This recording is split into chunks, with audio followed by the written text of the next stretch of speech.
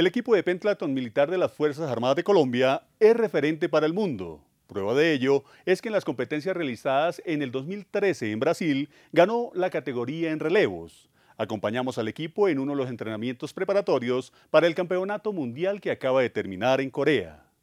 A sus marcas.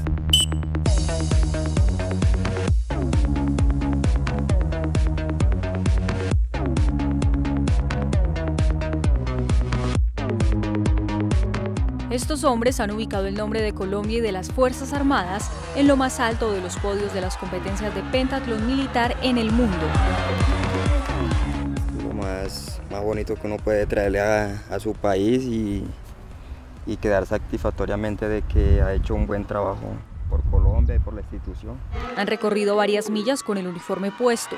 El logro que más los llena de orgullo es el ser reconocidos a nivel mundial como los campeones en la categoría de relevos. El orgullo que yo me he llevado, el único orgullo que me he llevado en los siete años que llevo de ser campeón en Brasil, me sentí muy orgulloso de ser un gran deportista. Pero para conseguir estos importantes resultados para el país, han tenido que formar sus piernas, brazos y músculos durante varios años.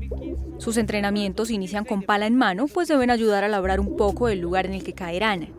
Es muy importante aflojar las caídas. Muy importante para evitar muchas lesiones. Asegurado el terreno, se disponen ahora para estirar extremidades y calentar el cuerpo.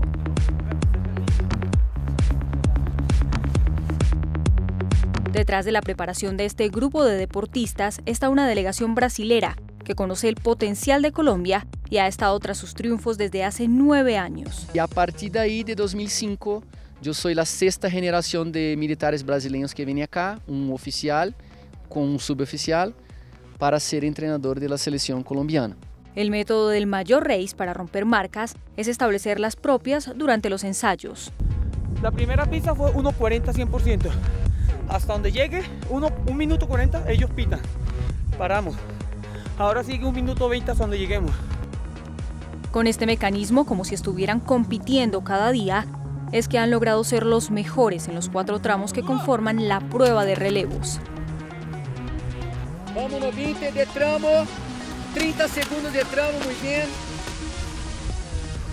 Exhaustos, cuentan con algunos minutos para reponerse y continuar. Parar nunca es una opción.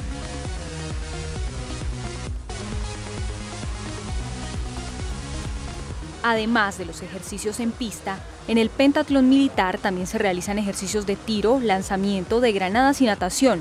Esta última consiste en recorrer 50 metros superando cuatro obstáculos.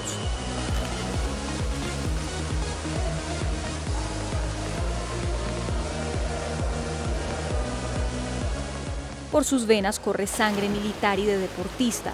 Saben que esa es una combinación que los lleva a estar agradecidos y a dar más cada día. Digamos como dice el libro La urbanidad de Carreño, si tú fuiste buen hijo y escuchaste los consejos de tus padres, eso vas a hacer tú el día de mañana y hacia el futuro y eso vas a proyectar las personas que a tú le, muy bien le pueda servir y que Dios te va a recompensar eso.